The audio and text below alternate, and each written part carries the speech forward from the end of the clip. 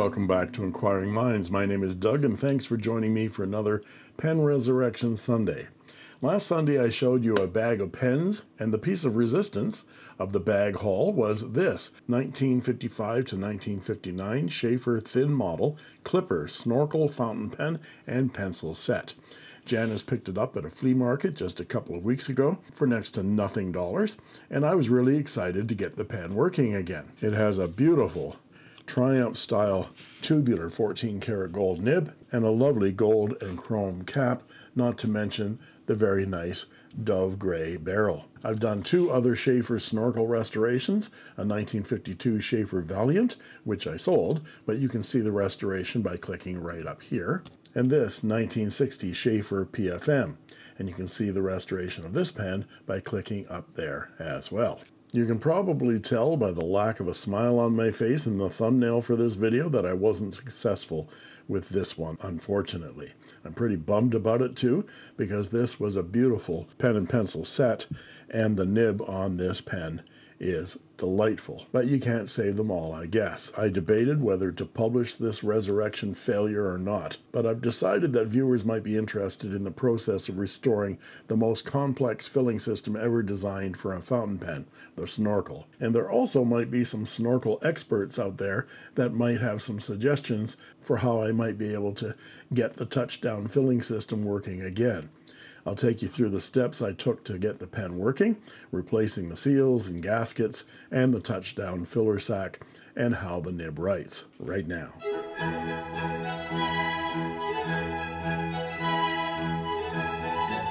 So I thought we'd go ahead and triage this pen. You saw this in the Bag o' Pens episode uh, from the bag of pens that I got from pen friend Janice.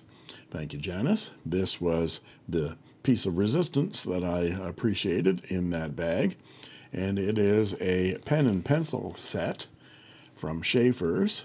It says Sheaffer's new snorkel pen. This is a Sheaffer Clipper thin model that was made between 1955 and 1959. It has a gold and chrome cap with the white dot. A gold cap band says made in Canada on the back and has a gray body.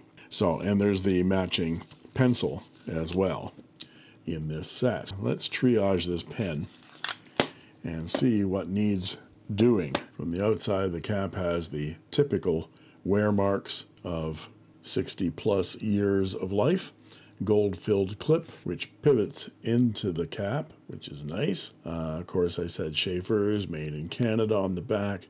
There is some brassing, what looks like brassing or tarnish on the gold parts. The clip doesn't look too bad, lots of wear on it, but there is some a little bit of what looks like tarnishing there. These are typically gold filled, so I expect that to polish up very nicely. Uh, the barrel has typical wear marks on it. There is a very, very light imprint. Maybe you can see it. It says W.A. Sheaffer, Penco of Canada Limited, Goderich, Ontario, made in Canada.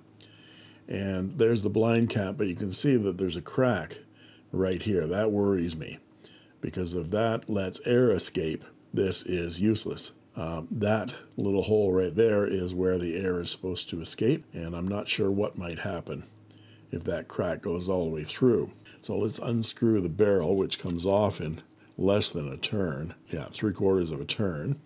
And we see the black plastic section and the tubular 14 karat gold nib that says 14 karat 585 made in Canada Sheaffer's and there's some tarnishing on that. I think that's just old ink right there.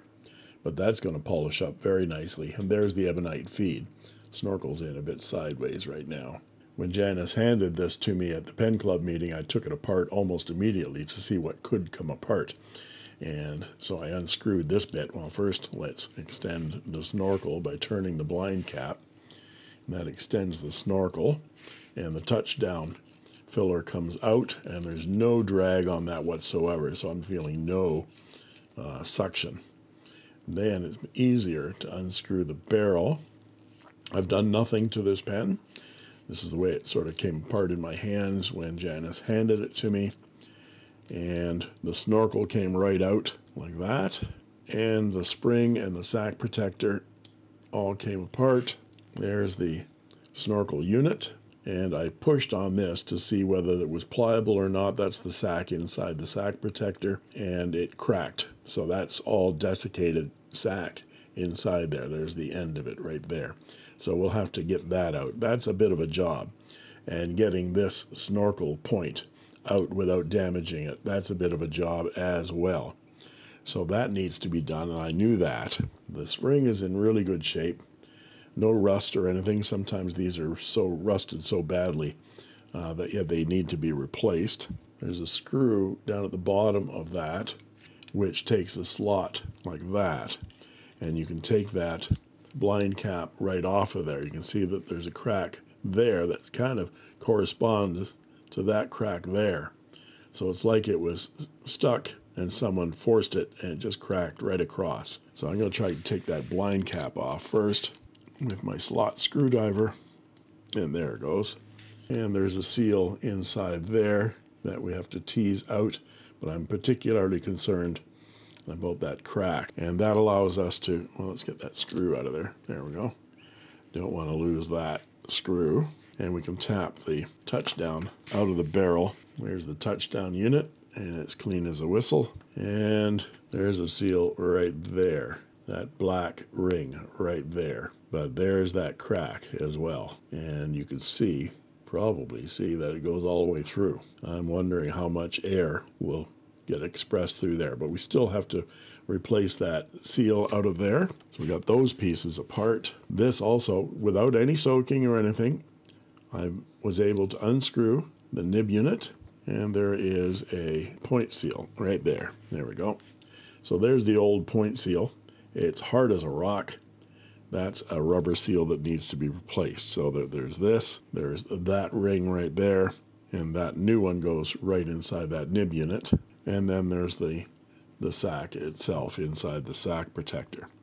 So lots of parts here. I have a Sheaffer parts kit for a Sheaffer snorkel. Let's dump the parts out here. And there are the four parts that I got in my snorkel repair kit. There's the necked sac right there. There is the O-ring that goes in the end of the barrel right there. There is this seal that goes at the end of the point right there and seals the snorkel tube itself. And then there's this seal right here, which goes in the bottom of the blind cap. Let's see if we can tease the old one out of here. Get my dental tool out and hook that seal out of there. And there's the old one. There's the old one on the left and the new one on the right. And there's the old point seal on the left and the new point seal on the right. So there's a number of things to do. We have to get that point out of there. Uh, there's various techniques for that. This is very delicate, this tube. See, there's plastic on the inside of it there, or ebonite. I think it's probably ebonite and that's probably ebonite there too. Yep, ebonite, black hard rubber. And so we're going to get that out of there so we can get at that sac protector tube and get the old desiccated sack out of there. I have an idea for soaking this in rubbing alcohol because rubbing alcohol dissolves latex. So we'll give that a try. We have to soak all these parts in pen flush and get all the old extraneous ink out. Same thing with the cap it's got old, old ink in there, so we're going to scrub that out. So lots of cleaning first, and then we'll get after that polishing up that nib. We will dip test that nib to see whether it writes okay. I'm afraid I can't really determine whether this resurrection is going to be successful or not until I've done the entire resurrection and see whether it actually sucks up ink and whether this leaks right here. So we're going to go through the steps anyway and then see whether we're successful in the end. So I've still got the cap in the ultrasonic pen flush bath, which is uh, nine parts distilled water and one part ammonia. And I've got the nib out and I've dried it off. And that black stuff that was on there looks like paint rather than old ink. In fact, it looks like dried up India ink, which scares me. But I've scraped it off with my thumbnail and I'm sure that's going to polish up nicely. I know that you can remove this nib from this bit here to get at that feed, but I don't think I need to. the nib looks in really, really good shape. I've cleaned out the uh, section and the barrel is clean as a whistle now. Same thing with the blind cap. So now I'm going to see about polishing up that 14 karat gold nib. And I might actually put it back in the section and put the barrel back on without any of the other parts just to give me more leverage and I'll be able to dip test that nib as well. I don't see any issues with the nib, but you never know, so.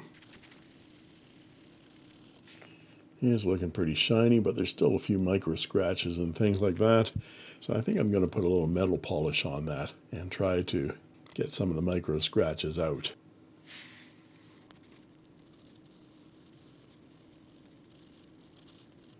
There we go. It's gotten a lot of those micro abrasions out. I might go at it again. Of course, I got some of the polish into the feed, but I'll just take this nib unit off and put it back in the ultrasonic bath, pen flush, and that'll get all that extraneous polish out of there. There we go, all flushed out, looking pretty good. Under my loupe, that looks like a fine nib, but we're going to give it a test here, dip it into some Watermans, and see what we get. Definitely a fine nib. 14 karat gold. And this is a 1955 to 59 Sheaffer clipper, thin model, TM, snorkel. And it's rough horizontally and vertically. A little bit of, yeah, a little bit of bounce to it, which is very nice. So that's going to need some micro mesh, but it writes very nicely. Very nice. So now I'm going to work on teasing out silicone O-ring seal uh, from the touchdown unit. So I'm going to treat this restore as if that crack isn't there. And we're going to get it all working. And if it works, great. If not, then there might be a plastic weld in my future. So let's get that old ring out of there. This has been restored once already, I believe, because usually these rings from the original ones in the 50s were white, not black. So I'm just going to dig around in there, and that's really hard. There, I think I've broken it now. There we go. Got it. But the new ring should go in there nicely. Ready to accept the new ring. So now we have the new ring and the clean barrel and some silicone grease and a toothpick. All you need to replace this touchdown seal. And this works for any of the touchdown fillers. Doesn't have to be a snorkel. The snorkel just uses the touchdown system. So what we're going to do is we're going to uh, dredge this silicone O-ring in some grease, get it all nice and lubed up, and then we're going to introduce it into the barrel and we kind of have to squeeze it together and then we have to tease it. So once you've lubed it, you have to tease it. That's what she said. Michael. Michael, please. Please. And you thought pen restoration was a boring sport. There we go. You got to tease it with the toothpick into the groove. This is not for the faint of heart. It's kind of like old people without Viagra. It's like shooting pool with a rope. Oh my God! Oh my God! Okay, I'm going to do this off camera. There we go. I had to uh, do it from the inside. Going down from the short end didn't seem to work. So I pushed it all down into the long side, pushed it up into place with this small rod. That seemed to work a little bit better than pushing it down from the top with the toothpick. I'm just to add a little bit more grease to that. Is, with all this grease, you can't hang on to anything. Just wipe off the excess. And now that's ready to accept the touchdown tube. But first we have to replace the ring inside the blind cap. We get it out, use a small pair of tweezers to put this in place. Actually, the best way to do this, I discovered this earlier, is to take your screw, put it on the end of your screwdriver. Magnetic screwdriver really helps. If you don't have a magnetic screwdriver, but you have a magnet, put a magnet on the shaft of your screwdriver and put the screw on the end of the screwdriver and it sticks there and then you can slide that into the sleeve and here's the most important thing of all PTGDSOF. Put the goddamn sleeve on first. And you put that in the barrel first, slide it through, and then rather than putting the washer on the inside of the cap, screw it to the end of the screw first. And then you can push the cap on top until you get a thread going and tighten that down. There we go. Just hand tight. And we can put a little bit of silicone grease. Can't even get it open anymore. It's so greasy. On the outside of that sleeve, just a thin coat to help that slide a little bit more easily. There we go. Well, unfortunately, I'm not feeling much suction. That should develop suction up to this point, and then that little groove right there releases that through that hole. But if that crack has gone past that groove, we're not getting any suction. We'll have to keep pushing ahead and see whether this might work for us. Well, I got the snorkel unit out of the sack protector. It's not an easy job. I had to do it off camera. I used my X-Acto blade to loosen those four flanges just slightly because they're crimped on to the end of this unit right here. And then I use this rod, which is just a piece of hanger that I cut off and pushed it through the sack, pounded on it through Bill's block. Now, the thing you have to be careful of is that if you pound straight down, you're going to pound right into the tail of that snorkel and you might damage it. And I'm hoping that I haven't done that. So I kind of angled it to the side. You can see where I was punching on it right there, not in the center. So all the old sack is on there, so I'm going to scrape that off. And then we're going to soak this. I'm going to scrape it out of all of this guck. But we're going to soak this in some rubbing alcohol in a glass and let it dissolve overnight.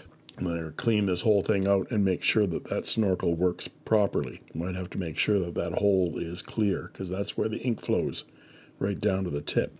In fact, the the tip has come out just a bit, so I'm going to have to push that feed in through the snorkel tube back to the back of that joint. So I got all of that old sack out of that sack protector. I didn't have to soak it in alcohol. Actually, the most of the sack just fell right out. And then I just had a few more bits in there. So I heated it a bit and lots of uh, cotton swabs and so forth, and lots of soaking, and it's clean as a whistle. I actually pulled the, the snorkel tube right out of that black section, scraped the nipple clean uh, with my X-Acto blade to get all of that old sack and shellac off of there it's uh, pretty much crystallized and so it chips off like pieces of glass. Then I heated the ebonite here and slid the snorkel tube back in to that section right at the very end now. It still protrudes a little bit at the front.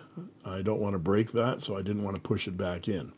I think it got tapped down a little bit when I tapped this out of the sack protector. So now we have to replace the sack and then get this back in the sack protector. So here's our sack. We can put it right on. So I'll need my sack spreader here.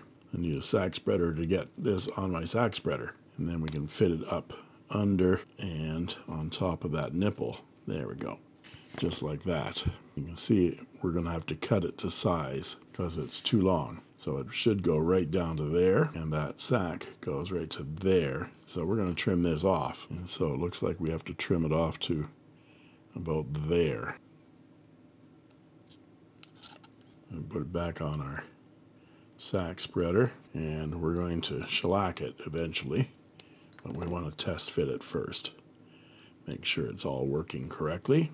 Yeah, that should be perfect. So we need to shellac this bit on. Get my shellac pen out from the inky nib, dial up a little bit of shellac, and we're just going to paint that nipple. We're not going to get any shellac on there. We don't want ink to stop flowing forever. And we're going to spread our sack for real this time. Just give it a little bit of a twist, make sure it's straight, and then just add a bead of shellac right around there. And then we'll let it dry overnight. So here we are, it's the next day, and that sack has dried. And we're going to add some talc to it and slide it back into this sack protector and get it lined up and see if we can get it pushed back into that collar. I'm going to put my eyes on again for this. And before I begin, I'm going to widen that opening a little bit. I've got my knockout rod, and it just happens to fit that opening perfectly. So I'm just going to put it in there slightly and just rotate a little bit to open up that opening just a little bit all the way around and should make it easier for that to go in. So I'll add some talc, find the right orientation, and I've got this steel tube that should help me push it down into that base. There we go, easy as cake. Pie, piece of cake, piece of pie. Now the other thing I did overnight, I slid a pin into the end of this barrel to widen that crack, and it actually goes all the way down to there. But I widened it out. I put a bead of CA glue along that seam, and then I wrapped an elastic band around it to hold it tight overnight. And I'm hoping that that will seal that crack and give me a vacuum. I have to polish up this barrel anyway and micromesh out all those scratches, so I might as well go at it. Get that CA glue off the outside. But now that I've got the snorkel unit together, I have to replace the point seal, which goes right there, actually goes inside there. What we want to do with this is make sure that there's silicone grease on the outside of that um, and on the inside, but it you don't want to get any silicone grease in that snorkel tube. So the way you do that is you put some silicone grease on the outside of these edges, you put it into the section, and then you add silicone grease to the shaft of the snorkel tube. And that way, when it goes through, it'll lubricate that little hole inside that seal. So we have our silicone grease and a toothpick, and I'm just going to try to grease up the edges of this. Very difficult to do because it's such a tiny, tiny piece. This is where the dental probe comes in very, very handy. And we're going to drop that down inside the section and then screw that closed nice and tight. And there we go. And we add silicone grease to the snorkel tube. Find the right orientation of the snorkel tube to the feed. And there we go. And that whole unit is together again. We can add the spring. Make sure it's right inside that collar, right there. Put that in the barrel. And our seal is at the bottom of that blind cap still. And we can screw that down hand tight. Yeah, I'm getting suction now. That's good. But the proof is in the pudding, as they say. So we can put the barrel back on. Slight twisting motion to get it over that spring. Some people will shellac that section down. I don't see any need for doing that at all. Make sure that snorkel goes back inside and it doesn't seem to go all the way for some reason. I put that snorkel tube in. I don't think I got it in deep enough and I didn't have it turned enough in the right direction. It's slightly turned. I'll try that again. There we go. That's better. It doesn't go all the way down in there because that's still sticking out a little bit. I don't think that should interfere with the operation of the pen, but we will soon find out because I need to try that touchdown filler with some ink. So I'm going to weigh the pen first without an ink. Press tare, extend that snorkel, and touch down and drop the snorkel only into the ink. And we get zero ink. So I'd call that a failure. I'm pretty sure it has to do with this touchdown filler, but that's not creating a vacuum at all in there. So I might futz with this a little bit more. It seems pretty loose in there, so I'm wondering whether that silicone O-ring is the right size, whether that crack has caused it to get a little bit bigger, or whether there's actually still air coming through there, but it's not compressing the sack. And now, how do I feel about this restoration or lack thereof. Well, I'm pretty disappointed, but I'm still optimistic that I might eventually get this pen to write. It might mean trying to find another barrel, if that is in fact the problem with this touchdown filler. I'm not getting any vacuum seal on this at all. And it feels like the touchdown system here is a little bit wobbly in there. So I'm wondering whether that seal that I used, that O-ring that I used in there, wasn't the right size. So I might experiment with the bigger one. Apparently there were two different sizes. Because I don't think that crack is the issue. It might have widened that barrel out so that it doesn't work anymore. I'm not sure. I have referenced my big book on fountain pen repair by Jim Marshall and Laurence Oldfield. That was a gift from Bill. Thank you very much, Bill. And there's a whole section here on the Sheaffer snorkel, all the different parts and the ways to restore it. And I particularly found this page here the most interesting because there's some red section here that says if the pen does not write or quits after a few lines, check these following things. They want to make sure that the fine slot near the end of the snorkel tip is unblocked, free of grease, and makes close contact with the end of the collector. Probing with a fine wire and washing in detergent, prefer, preferably an ultrasonic tank, should cure the problems.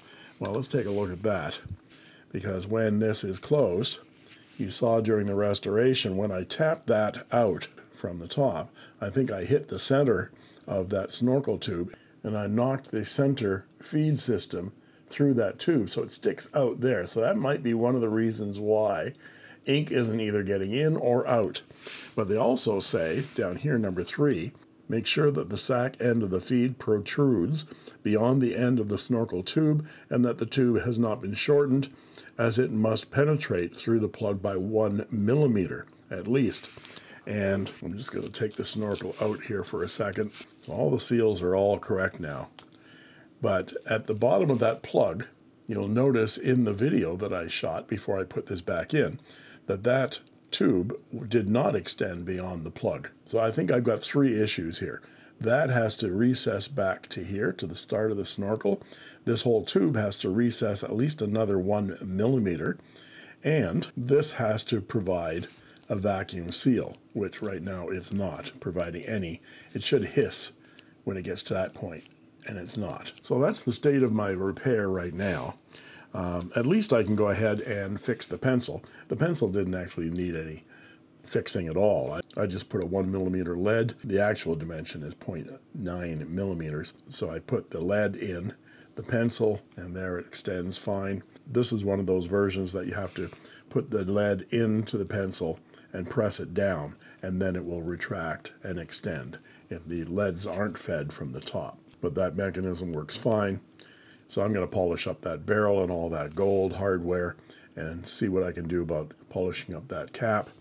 And maybe, eventually, I'll find a reason why this snorkel isn't working and I can restore this set.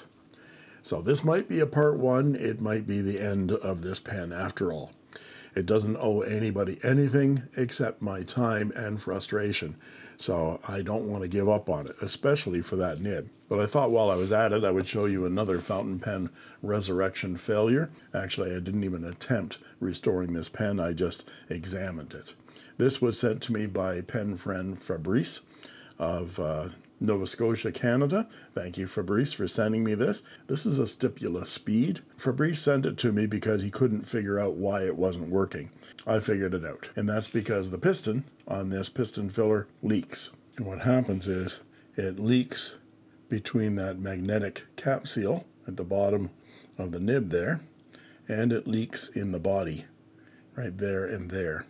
So this is a poorly designed pen in that you can't get that piston out and the only way you can get at the ink chamber is to pull, friction pull, the nib. Interesting concept, interesting pen with a magnetic cap on it that doesn't seem to really catch because you have to push the cap on that pen. So it's interesting looking pen, but uh, in terms of functionality, it just doesn't work anymore. Thanks for sending it, Fabrice, but there's nothing more I can do to this pen other than admire it. But in the meantime, if any of you know what might be an issue with this snorkel or how I might fix it, please let me know in the comments below. And as always, thanks for watching. I made this.